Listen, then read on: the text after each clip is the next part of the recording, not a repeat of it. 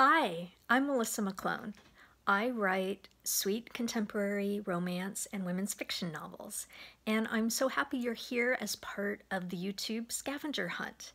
I have a phrase for you to add to your list, so get your pencil ready, and that is of us. So add that to the words you got from Brittany's video, and now you're going to go on to JP Sterling's channel to get the next words. So check out the link in the description below and happy hunting. Good luck.